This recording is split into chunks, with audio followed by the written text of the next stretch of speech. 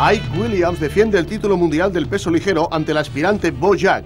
Filadelfia, 12 de julio de 1948.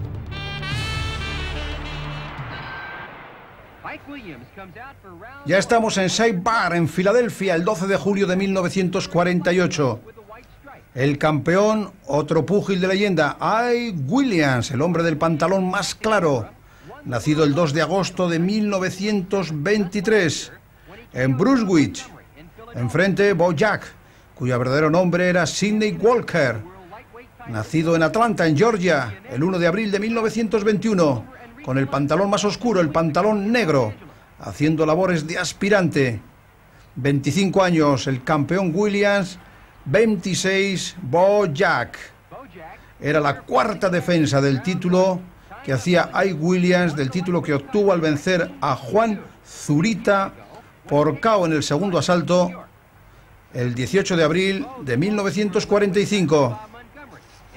Un púgil extraordinario, este Ike Williams, que estaba acreditando ser un boxeador de muchos quilates, algo que al principio se le había negado, después de vencer a Suritar, revalidó la corona con Ronnie James en Cardiff, en Gales, más tarde, en el 47, se enfrentó a Bob Montgomery en Filadelfia, noqueándole en seis asaltos.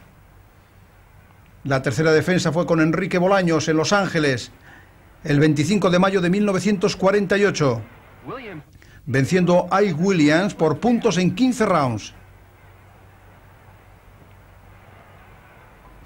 En cualquier caso, esta iba a ser la defensa más difícil del campeón desde que obtuviera el cinturón acreditativo.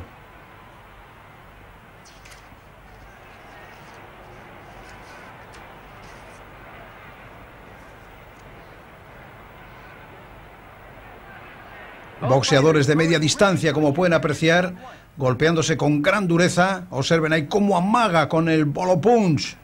Bojack, el aspirante, Este hombre que debutara en 1940 haciendo combate nulo con Frankie Allen en Holyoke.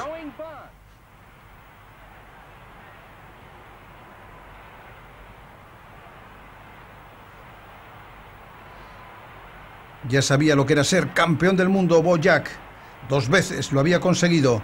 En 1942, el 18 de diciembre, había vencido a Tipi Larkin por KO en tres asaltos. Más tarde lo había revalidado en el 43, el 19 de noviembre, con Bob Montgomery en Nueva York por puntos en 15 rounds. Perdió con este mismo boxeador, el entorchado, un año más tarde. Y aquí le ven ustedes haciendo labores de aspirante en 1948. 93 victorias para Williams con 10 derrotas y 4 combates nulos. 45 knockouts, un 48%. No es un porcentaje elevado, pero tampoco Bojack se caracterizaba por ser un tremendo pegador. 67 victorias y 12 derrotas, 34 knockouts, un 51%. Pelea a priori muy, pero que muy igualada.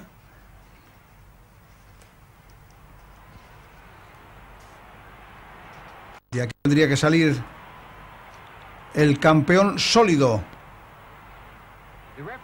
el hombre que más tarde diera oportunidades a los que venían detrás. Hombres de una gran calidad, todos ellos.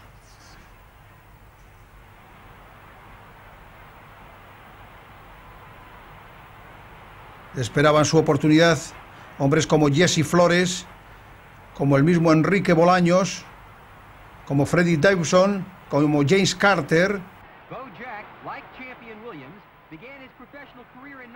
Púgiles que estaban llamando con fuerza a las puertas del título mundial, el título que en este momento tenía este boxeador, Ike Williams, el hombre del pantalón más claro, un joven todavía de tan solo 25 años. Ike Williams la verdad es que nunca ganó sobre el ring el dinero que hubiera merecido por su enorme talento. Fue campeón del mundo durante casi seis años.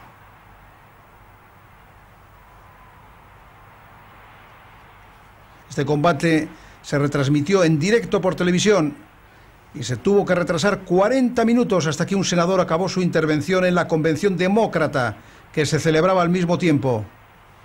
Anécdotas históricas en esta extraordinaria colección donde tienen cabida todos los mejores boxeadores de épocas pretéritas y de la época actual.